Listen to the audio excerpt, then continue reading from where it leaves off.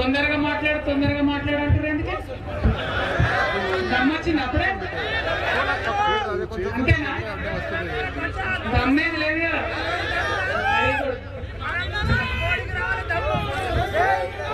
ఇవాళ మోడీ గారి పుణ్యమాని మళ్ళీ ఒకసారి భారతదేశం అంతా రోడ్లెక్కింది.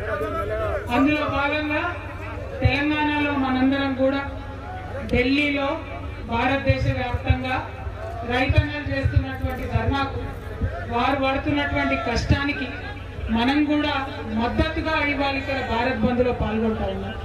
టిఆర్ఎస్ పార్టీ తరఫున ఢిల్లీలో చేస్తున్నటువంటి రైతు ఉద్యమానికి సంపూర్ణంగా మద్దతు ఇవ్వాలని మన రాష్ట్ర అధ్యక్షులు గౌరవనీయులు మన ముఖ్యమంత్రి కేసీఆర్ గారు నిర్ణయం తీసుకున్నారు కాబట్టి వారి నిర్ణయానికి అనుగుణంగా ఇవాళ ఒక్క మన కామారెడ్డి హైవేనే కాదు తెలంగాణ వ్యాప్తంగా ఉన్న అన్ని హైవేలను కూడా దిగ్బంధించి భారత్ బంద్కు తెలంగాణగా మనం కూడా మద్దతు ఇస్తున్నటువంటి సందర్భం గులాబీ సైనికులందరికీ కూడా నేను అంత లాల్ సలాం చెప్తా ఉన్నాను అన్నట్టు అది జరిగేది అంత కొద్దిగా సార్ ప్లీజ్ అన్న. కొంచెం కొంచెం. బస్ బస్. థ్యాంక్ యూ థ్యాంక్ యూ ఇవాళ జరుగుతున్నటువంటి ఈ భారత్ బంద్ను మనందరం కూడా మొట్టమొదట ఆలోచన చేసుకోవాలి. ఎందుకు జరుగుతుందో. అందరూ ఒకటే మాట చెప్తున్నారు. ఏమని? రైతు వ్యతిరేకంగా కేంద్ర ప్రభుత్వం మూడు బిల్లులు తీసుకొచ్చింది. ఆ బిల్లులను మనం వ్యతిరేకించాలి. ఇవాళ ఇక్కడ ఉన్న రైతన్నలు మరీ ముఖ్యంగా ప్రజాప్రతినిధులు మీరందరూ కూడా ఒక్కసారి అర్థం చేసుకోండి. ఎందుకోసం ఈ బిల్లులు వ్యతిరేకించాలి? మనందరికీ కూడా ఇక్కడ రైతు కుటుంబాలమే మనందరం కూడా. అందరికీ వ్యవసాయంతో సంబంధం ఉన్నది. మీ అందరికీ కూడా అవగాహన ఉన్నది. అన్న వ్యవసాయంలో మూడు అంశాలు ఉంటాయి ప్రధానంగా. మొదటిది విత్తనాలు. రెండవది పురుగు మందులు అదేవిధంగా పెస్టిసైడ్స్ ఫర్టిలైజర్స్ మూడవది పంట. ఈ మూడు అంశాలలో ఇవాళ విత్తనాలకు సంబంధించి ప్రభుత్వం కన్నా ఎక్కువ ప్రైవేట్ శక్తులు ఉన్నాయి. వాస్తవమా కాదు? ఈ నిజామాబాద్ జిల్లాలో మీ అందరికి గుర్తుంటుంటది ఉమ్మడి నిజామాబాద్ కామారెడ్డి జిల్లాలో ఆర్మూర్ దగ్గర అనేకమైన చేదు అనుభవాలు ఉన్నాయి మనకు. విత్తనాలు ఇస్తే పంటలు రాక ఆగమైనటువంటి ఎన్నో సందర్భాలు ఉన్నాయి.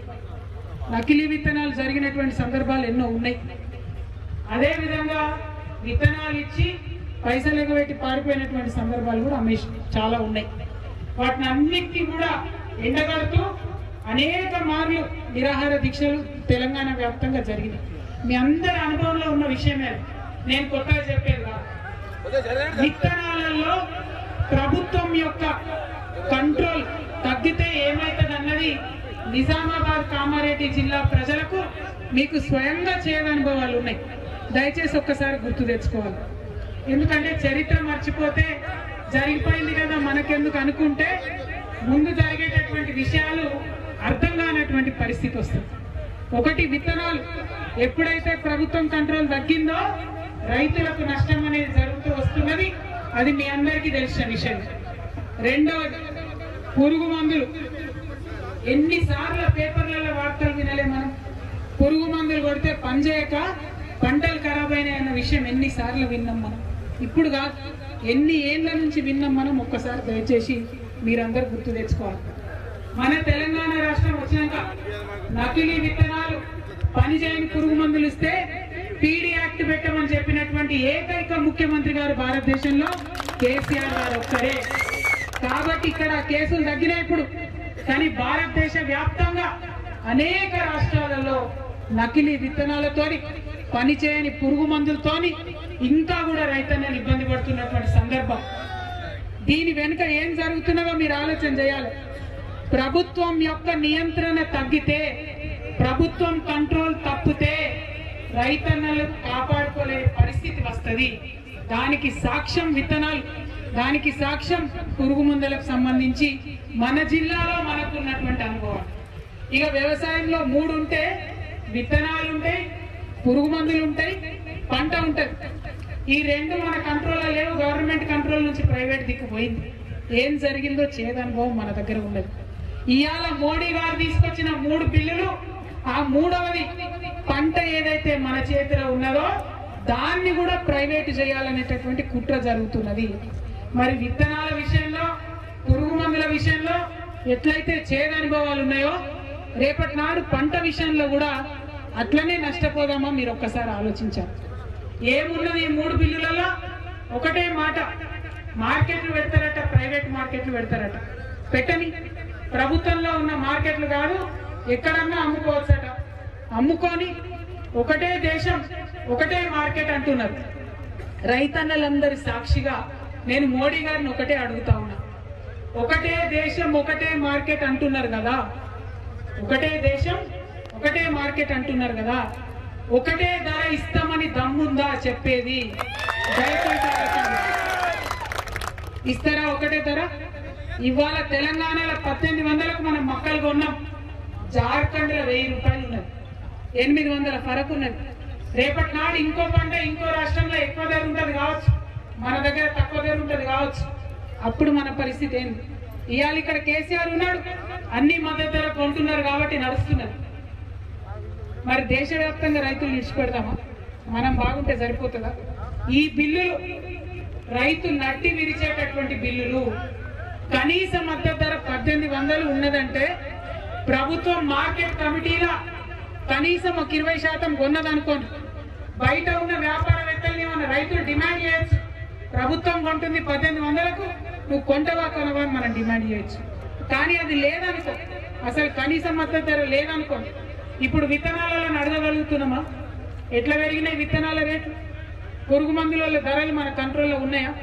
అవి పారినా పారకున్నా మనం అడిగే పరిస్థితి మనకు ఉన్నదా రేపటి నాడు పంట పండినాక ప్రైవేట్ మార్కెట్లకు పోతే మద్దతు ధర అనేటిది లేకపోతే మనకు అడిగే హక్కు ఉండదు. అందుకే ఈ మూడు బిల్లులు వ్యవసాయ రంగం యొక్క నడ్డి విరిచే బిల్లులు అని చెప్పి మనం చెప్తా ఉన్నాం. మనకి విషయం తాత్పర్యం అర్థం కావాలి. అర్థమైతే తప్పకుండా మీరందరూ ఉద్యమంలో ముందుకు వస్తారు. ఆ విషయం మనకు తెలుసు. ఈ విషయం అర్థమైంది కాబట్టి ఢిల్లీకి కూతబెట్టి దూరంగా ఉంటారు కాబట్టి పంజాబ్ రైతులు హర్యానా రైతులు పరిగెత్తుకొని పోయి ఢిల్లీకి దిగ్బంధం చేసి ఇవాళ ఉద్యమం చేస్తూ ఉన్నారు. వాళ్ళు అక్కడ ఉద్యమం చేస్తున్నారు మరి చలిలో ఉన్నారు బాధపడుతున్నారు. వాళ్ళు మనకు కూడా మద్దతు అవుతుంది కదా. మరి మనకు మద్దతు అవుతుంది కాబట్టి వాళ్ళకు మద్దతుగా ఇవ్వాలి ఇక్కడ మనం భారత్ బంద్ చేస్తా ఉన్నాం. దయచేసి మా రైతన్నలు నిజామాబాద్ కామారెడ్డి జిల్లా రైతన్నలు మీరందరూ కూడా చాలా చైతన్యవంతమైన రైతులు మీకు తెలుసు పద్ధతులు తెలుసు పంట తెలుసు విషయం తెలుసు. దయచేసి మీరు ఆలోచన చేయాలి. ఇవాళ ఉట్టిగా గుడ్డిగా వ్యతిరేకిస్తారంటే కేసీఆర్ గారికి రైతుల ఎందుకంటే ప్రాణం కేసీఆర్ గారికి రైతులు అంటే ఇవాళ రైతు బంధు ఇచ్చేది ఎవరు? కేసీఆర్ గారు. దేశంలో మొట్టమొదటిసారి రైతు బంధు పథకానికి శ్రీకారం చుట్టిందే తెలంగాణ రాష్ట్రానికి ఇచ్చుకుంటా ఉన్నాం. రైతులు కడుపులో పెట్టుకుని చూసుకునేది మనమైతే రైతు కడుపు కొట్టేటటువంటి ప్రయత్నం ఇవాళ మోడీ గారు చేస్తా ఉన్నారు. మరి ఆలోచన చేయాలని చెప్పి మిమ్మల్ని కోరుతా ఉన్నాం.